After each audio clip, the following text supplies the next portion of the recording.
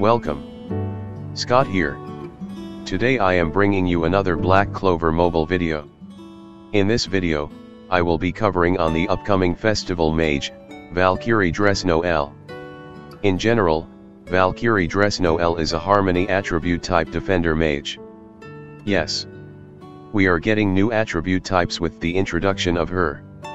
Her key roles involve the following. She is a top tier PvP unit when you get her fully maxed out. She provide damage mitigation with her absolute area. To have her absolute area to be applied on the party with her skill 2, you need to have her skill page. Absolute area will result the mage to have SP plus 2 buff when they take turns and gain immunity to status ailments like freeze or stun. In general, any mages with SP refill utility are really good. She has a stacking mechanic that grants her the Sea Dragon's Spear when she is attacked. However, the stacks will be removed whenever she uses her skill 1 or special. Her attacking skills will get greatly enhanced. Her skill 1 is a single target attack and grants the mage with the highest all attack stats in the party a 40% reduced damage taken buff. Her skill 2 provides the party another 30% reduced damage taken with critical resistance buff for the party along with the absolute area with her skill page. Her special is another single target attack with barrier removal. Her combo attack will grants the partner a invulnerability buff. With her passives, she boost her damage and speed. Before I continue to explain on how her passives work, I would like state that her passive only works if she is the only defender mage in the party. In other words, you cannot pair her with other meta defender mages like Black Asta and Mereoleona. Her LR passive allows her to gain her Sea Dragon Spear stacking mechanic whenever she is attacked by an enemy. You can gain up to the maximum of 4 stacks. The stacks will be removed once she uses her skill 1 or special. When the stacks is at 4, she can remove immortality buff from units.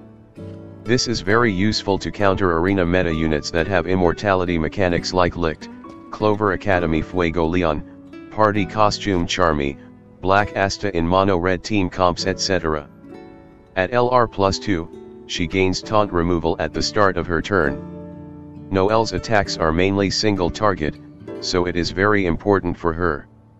At LR plus 5, on top of the taunt mechanic, she will grant herself a 30% increased mobility buff and increased speed level 1 buff for one turn at the start of the battle. If you give her plus 3 speed stone, she will move first before opposition get their turns. This is important if you plan to use Valkyrie Noelle for PvP. If you are fighting an opposition team with similar setup, it will be a coin toss. Similar to past festival units like Mereoleona and Black Asta, Investing in Valkyrie Dress Noelle offers the great value for your roster. To function at her maxed efficiency, Noelle needs to have her skill page and maxed enhancement levels for her speed buff in PvP. Her skill page allows her to provide absolute area for the party.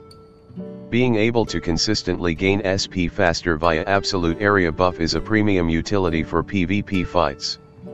You have seen how it works with current SP refiller mages like Ceremony Charlotte and Party Mimosa. While the buff is in effect, the party members will get 3 SP per turn. This means you will have a shorter lead time for the party to use their special. With the introduction of Valkyrie Dress Noelle, you will see a slight shift away from full mono team comps for PvP. As she provides great offensive utility on her own, her companions that you usually pair her are usually supporter mages, healers, or debuffers. Attacker mages that are dependent on their special like Spirit Dive Yuno will greatly benefit with her due to her SP Regen mechanics. For skill pages, you will want her skill page for the absolute area application for the party. Without it, she will just become a single target damage tank and lose her SP Regen utility and status ailment immunity support for the party. Although she is a defender mage, her optimal gear sets are using attack pieces. Advanced attack. Advanced speed and advanced defense should be your primarily gear sets to be used when building her gear. As she can apply a random taunt on targets, I would highly recommend you to get her the advanced defense piece. Boosting her attack to be the mage with the highest all attack is important as you will want the 40% reduced damage taken buff to be applied on her whenever she uses her skill 1. So should I pull for her? In my opinion, there isn't a general consensus on whether to pull for a unit. It really depends on whether you are a free to play or having a vast roster already. If your roster is lacking an offensive defender mage like Black Asta or Mereoleona, I would highly recommend you to get her. In general, defender mage who can do great damage while fulfilling their defender roles are ultra rare in the game.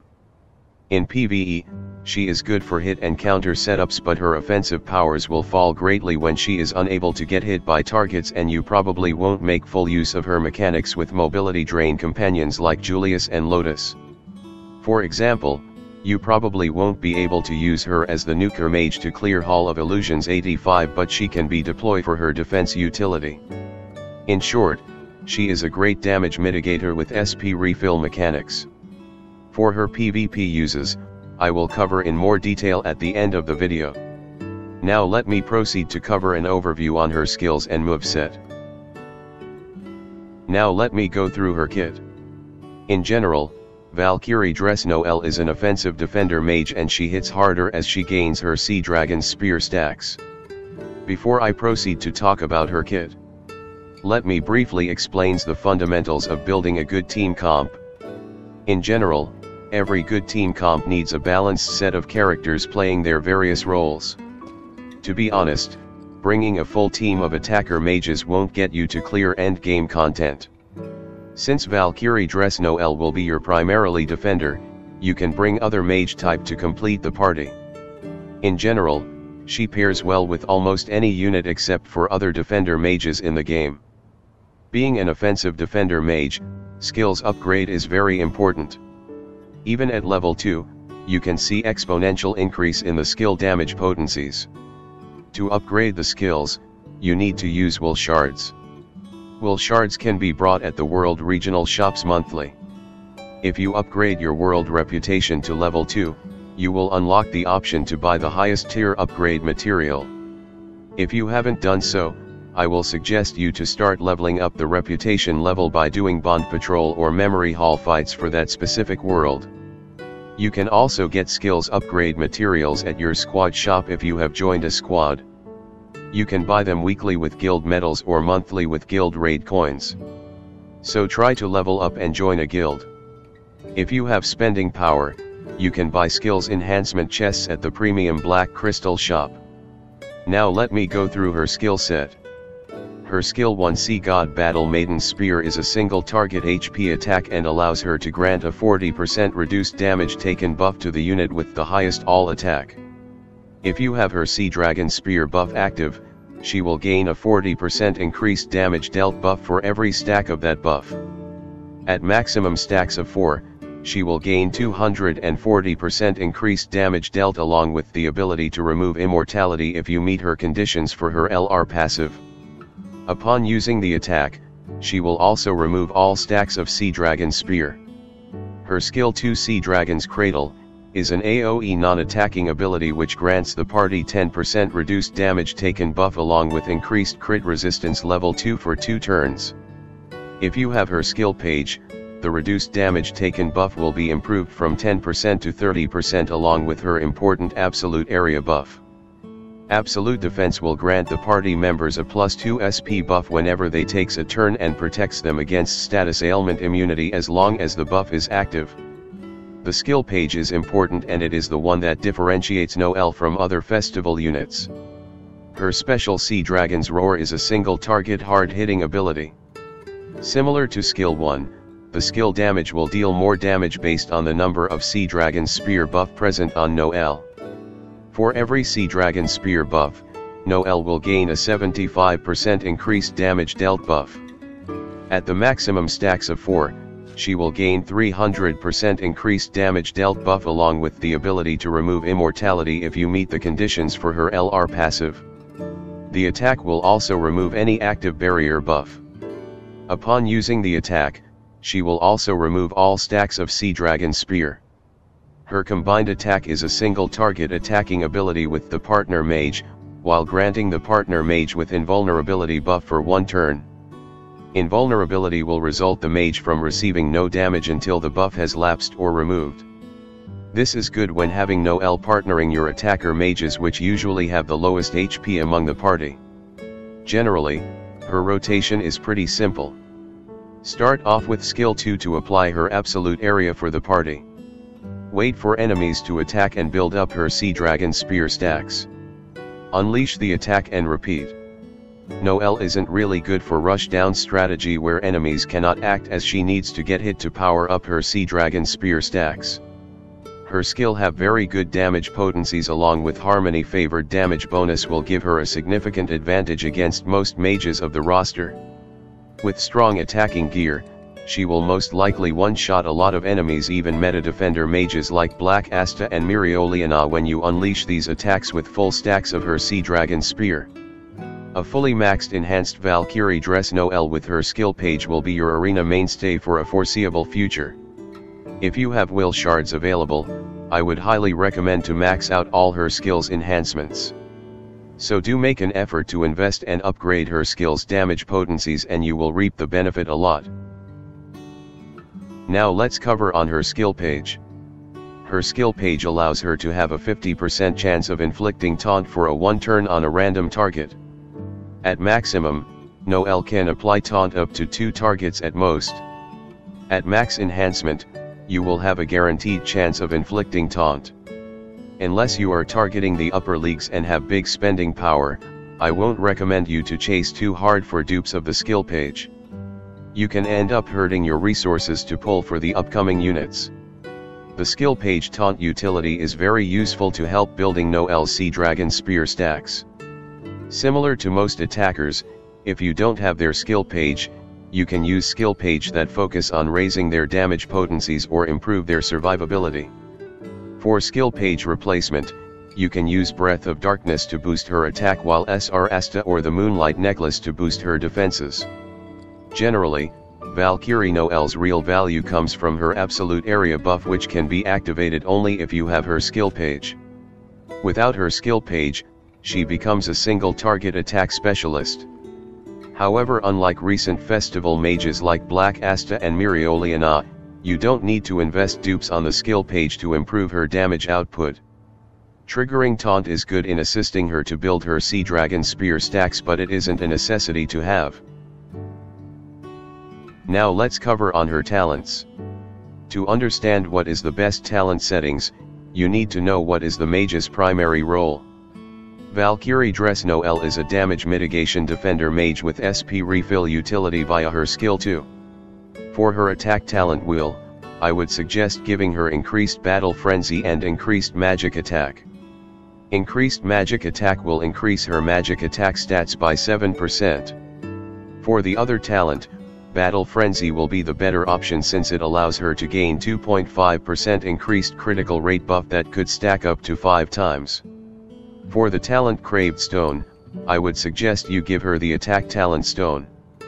When setting teams involving Valkyrie Noelle, you will want her to have the highest all attack stats among the party. For the defense talent wheel, I recommend you to go for the endurance defensive talent, which gives her 4% defense and 2% critical resistance, up to 5 times per wave along with increased defense that boost her defense by 20%. For the Craved Stone, you will want to give her the defense talent Craved Stone.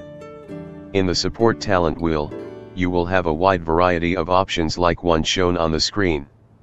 Increased damage resistance will result in Noelle to improve her damage resistance by 10%. Noelle has a chance of taunting and thus locking targets to her. Mage Blessing allows her to have a 20% chance of cool down her skill 2 which could allow her to apply her skill 2. This will help a lot in ensure absolute area is always active on your party. You can also opt for a more reliable swiftness which grants SP plus 1 buff when Valkyrie Dress Noelle has less than 2 SP. This will come handy if you want her to use her special more often. I myself will probably pair this with Mage Blessing so she can apply her absolute area buff more frequently. You can also opt to use resolution and increased accuracy and penetration combination to block debuff heavy opposition arena teams.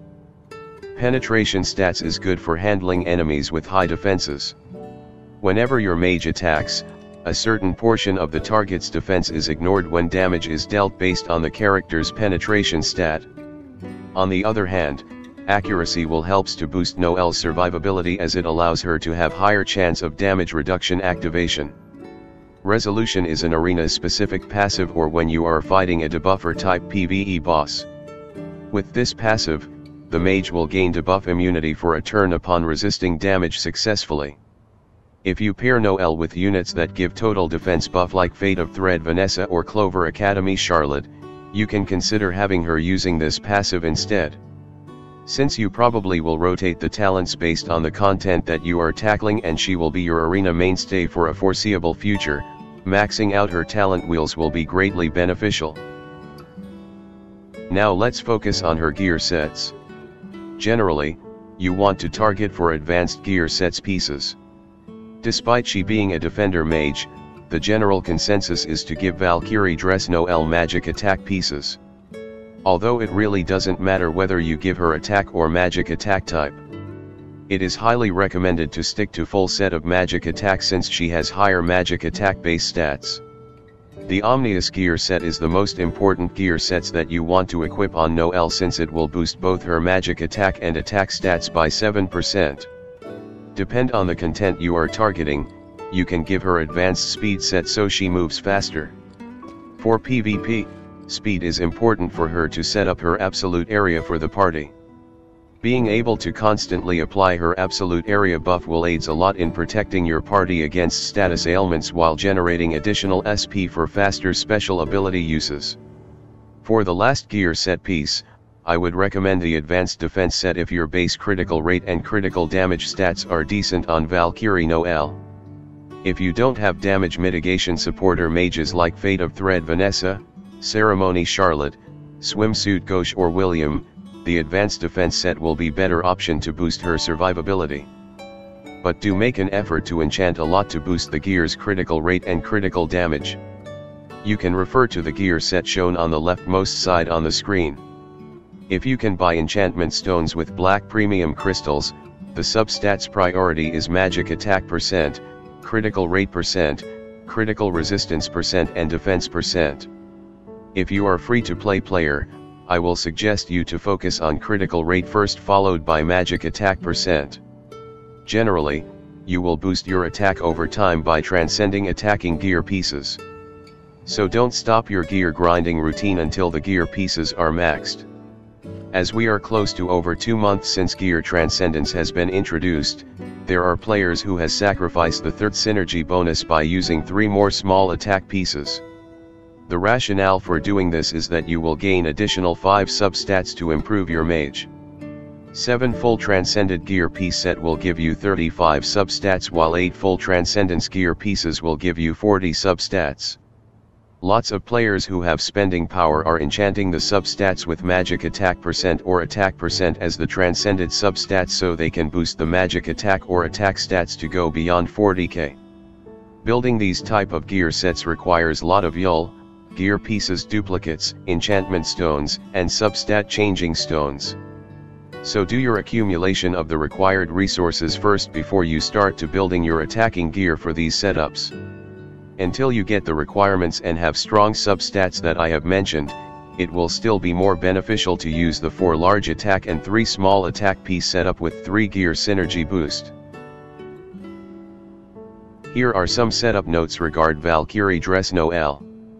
In general, Valkyrie Dress Noelle works with any mages, attacker, debuffer, supporter, and healer mages. The only class of mages that she doesn't work well with are the defender class. Her powerful LR passives will only activate when she is the sole defender mage in the party. Her passives give her taunt immunity, tremendous speed boost and allows her to gain her powerful Sea Dragon Spear stacking mechanic. When her Sea Dragon Spear stacks is active, she will do more damage when she uses her skill 1 or special. The more stacks she has, the more powerful attack will be. If the stacks is at maximum stacks of 4, she will remove any immortality buff that is present on the target. With the introduction of Harmony attribute mages, they will have a type advantage against all current attributes, power, sense, and technique.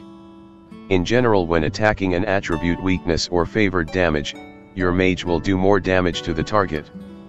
However, Harmony units are weak against Chaos attribute type mage which we will be seeing them debuting in the future. When setting team comp around Noelle, it is important to note that you will want her to have the highest all attack stats among the party. There are a lot of reasons and benefits in doing so. Firstly, some of the debuffer or supporter mages have mechanics or passive that counter the highest all attacker mage for PvP. By having Noelle be the target for that, your attacker will be free to run amok on the opposition. Secondly, no Noelle's skill 1 will grant the member with the highest all attack stats a 40% reduced damage taken buff. Being the sole defender of the party, Noelle is most likely be the only mage that has taunt mechanics. Thus you will want to have the buff to be applied on her at all times. The longer that Noelle survives, the higher chance that you win the PvP fight. For enhancement levels, the recommended level is maximum enhancement or LR plus 5. If you have noticed, all of Noelle's attacking skills are mainly single target. If she is locked to a single target she won't do any significant damage. Her LR plus 2 passive will allows her to cleanse any taunt mechanics whenever she takes a turn. In other words, she cannot be taunted. At LR plus 5, she will grant herself a 30% increased mobility buff and an increased speed level 1 buff for one turn at the start of the battle. If you have given her a speed stone, she could even get to move first even before Golden Dawn Yuno in mono red team comp. Being able to apply her absolute defense buff is crucial since she give the additional damage mitigation buffs along with her awesome absolute defense buff. This will ensure that your party won't easily get one-shotted by the opposition mages. Of course, the gear that you use on your mages will still have a bearing on success for PvP. On the right side of the screen, you can see a sample list of viable PvP team comp to use with her. Ceremony Charlotte is the distinct important mage that most players will use with her. With her barrier buff protection, she can improve Noelle's survivability. To have her barrier buff active, Charlotte needs to have her level 2 enhancements or LR plus 2. New players who started during the half anniversary should save some resources and look out for this awesome PvP unit when she arrives. Charlotte also provides good SP refill utility for Noelle along with damage mitigation buff for the party with her special. The other two members slots are more flexible. For attacker mage, you can pair her with Spirit Dive Yuno. To make the strategy works, it will be a costly investment as usual for most festival mages. You need to have Spirit Dive Yuno's skill page at max enhancement to have plus 3 SP buff activation whenever Yuno attacks a target. Yuno also need his LR plus 2 passive for invulnerability buff activation when he gains Spirit Dive buff. Pairing him with Valkyrie Noelle, Spirit Dive Yuno can relentlessly spam his special every turn unless the opposition have SP reduction mechanics thanks to Valkyrie Noelle's absolute area SP buff every turn. She can also protect Yuno with her combination attack that allows you to have some leeway while Yuno building up his SP. The new Chaos Mage Black Suit Zora also works well with Noelle. As the unit is just released recently, I don't have a lot of information about him. So look out for my future mage build guide if you are interested in him. Due to the requirements, that Noelle needs to get hit to build up her Sea Dragon Spear stacks, Julius might not be a good fit for the team comp with her.